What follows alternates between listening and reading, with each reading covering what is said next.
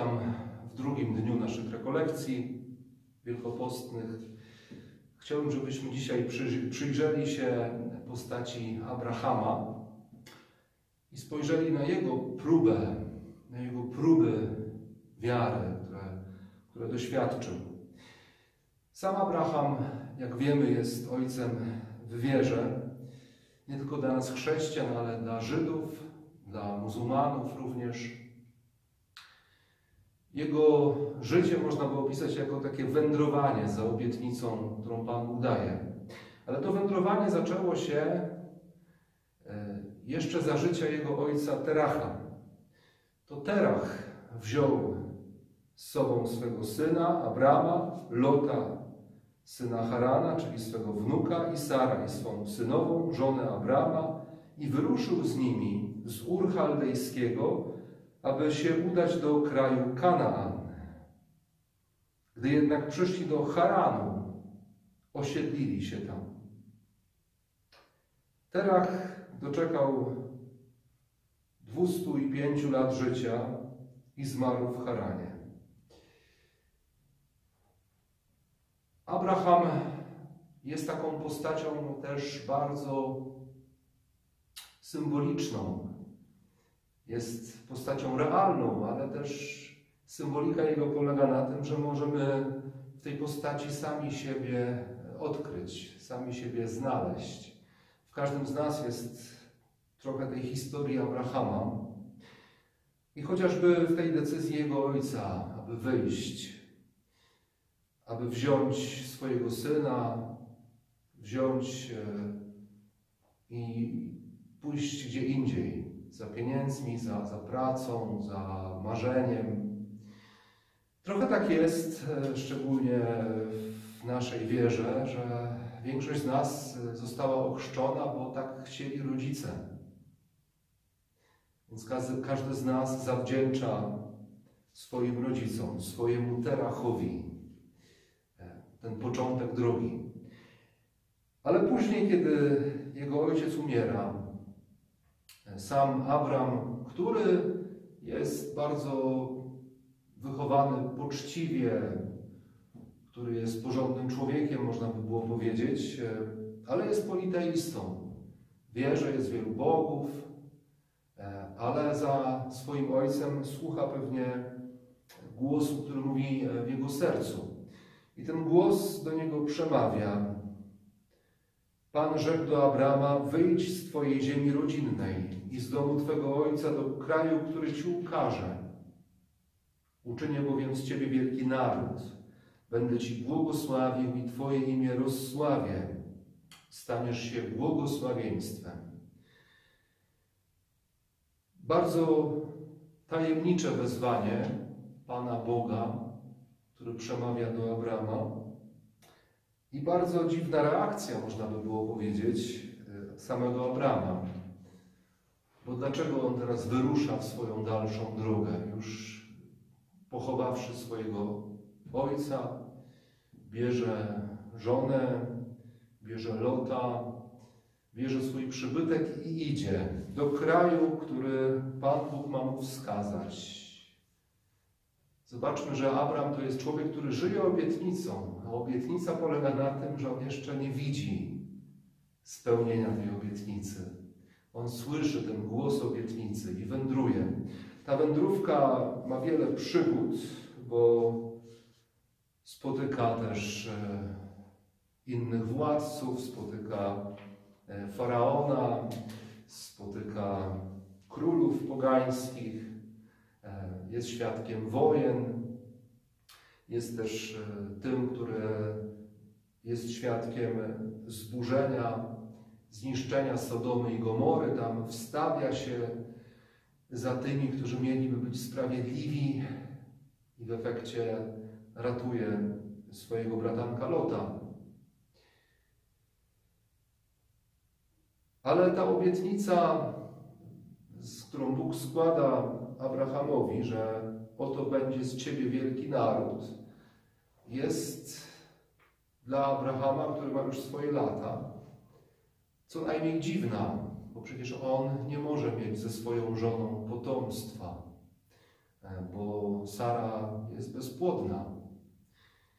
Kiedy wreszcie Pan Bóg przychodzi z tą obietnicą w postaci trzech aniołów, którzy mówią mu, że oto za rok, kiedy Ty będziesz miał Abrahamie 100 lat, a Twoja żona będzie miała lat 90, urodzi Wam się syn i nazwiecie go Izaak, oto wydaje się, że teraz będzie już historia z happy endem, historia szczęśliwa, że teraz wypełni się ta obietnica, którą Bóg daje o potomstwie, o, o wielkim narodzie, o błogosławieństwie na najdalsze pokolenia, bo będzie pokolenie z, z Abrahama. Jeszcze wracając do tej historii wędrówki, to nie jest tak, że Abraham miał jakąś gorącą linię z Panem Bogiem i mógł codziennie e, mieć widzenie Boga. On słyszał ten głos raz na jakiś czas, potem Pan Bóg milczał, dawał mu różne znaki, e, ale Abraham zawsze miał wspomnienie tej pierwszej obietnicy, tego pierwszego wezwania: wyjdź z Twojej ziemi rodzinnej. I wreszcie, kiedy rodzi się Izaak, ten wymarzony od lat potomek z tego małżeństwa Sary i Abrahama, kiedy Izaak ma już 13 lat, oto Abraham słyszy wezwanie Boga.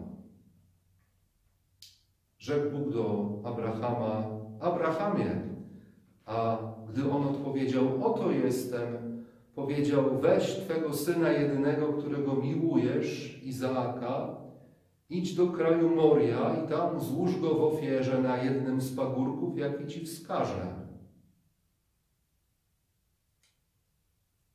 Widzimy tutaj nie tylko wiarę w Boga, ale też wiarę Bogu, zawierzenie Bogu.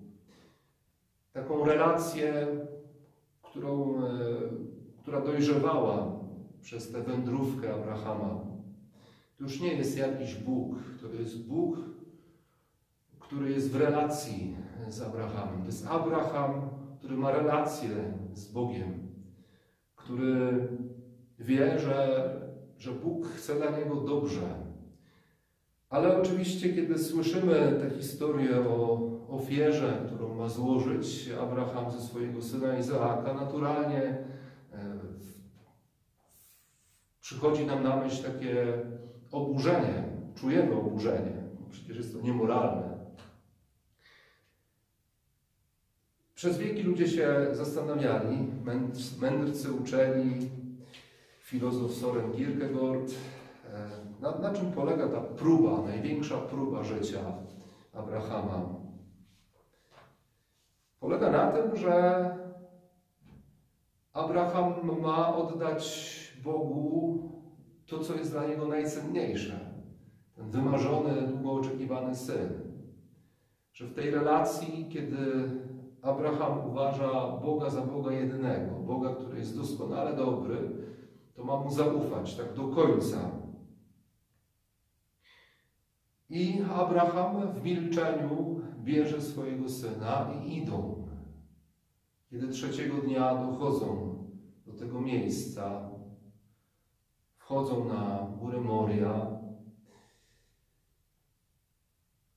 Izaak posłusznie daje się związać i Abraham bierze nóż, aby, aby go zabić. Wtedy następuje interwencja Boga. Bóg mówi przez anioła: Nie podnoś ręki na chłopca i nie czyń mu nic złego. Teraz poznałem, że boisz się Boga, bo nie odmówiłeś mi nawet Twego jedynego syna. Mamy w tej całej dramatycznej sytuacji Boga, który przychodzi e, i się objawia. Abraham nazwał to miejsce Pan widzi. I dzisiaj mówi się według Księgi Rodzaju na to miejsce na wzgórzu Pan się ukazuje, Pan się objawia. Mamy sytuację trudną na świecie, mamy czas próby. I ta próba się może wydawać bezsensowna.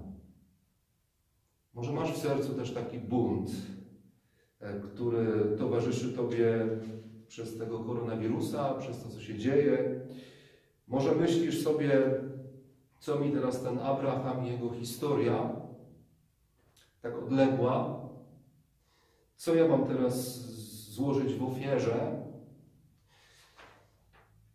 W tym opowiadaniu o próbie Abrahama nie chodzi tyle o samego Abrahama, ale o Boga. Tu się kryje w tej próbie Abrahama, tej największej próbie jego życia, kryje się wielkie objawienie Pana Boga. Żeby zrozumieć, kim jest Bóg, nie wystarczy Jego obecność. No bo to takie jest, że może przywykliśmy, że, że kościoły są zawsze otwarte, że ciągle możemy przyjść na mszę, przychodzić na mszę świętą, że w naszym kraju co przystanek autobusowy w miastach to już jest kolejny kościół. Teraz kościoły są, są ograniczone, e, kościoły są zamykane, e, świat drży przed epidemią. I możesz myśleć, no ja wiem, że jest Pan Bóg, nie? że On jest obecny, no ale co mi z tego? Ja nie mogę, nie mogę przyjmować e, Komunii Świętej, Kościół mówi o Komunii Świętej Duchowej, ale może mi to nie wystarczy, może taki mam but w sercu na to wszystko. Aby zrozumieć, kim jest Bóg, to nie wystarczy tylko Jego obecność. Trzeba także doświadczyć Jego nieobecności. I zobaczmy, że w tej próbie Abrahama, tej próbie najtrudniejszej, Pan Bóg się jakoś chowa, Pan Bóg jakoś milczy. Milczy do ostatniego momentu. To jest jak na hollywoodzkim filmie, że w ostatnim momencie udało się uratować. W ostatnim momencie główny bohater został uratowany. W ostatnim momencie Pan Bóg interweniuje, objawia się.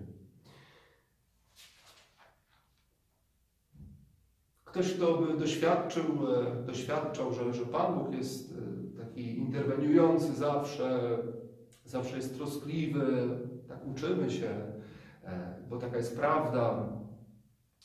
Ale jeśli byśmy nie odczuli nigdy Jego milczenia, to nie wiedzielibyśmy, co to znaczy wierzyć. A tym bardziej, jaki jest Bóg, w którego wierzymy. Przychodzi mi tu na myśl historia świętej Matki Teresy z Kalkuty, której relikwie mamy w naszej kaplicy domowej, e, tu na plebanii.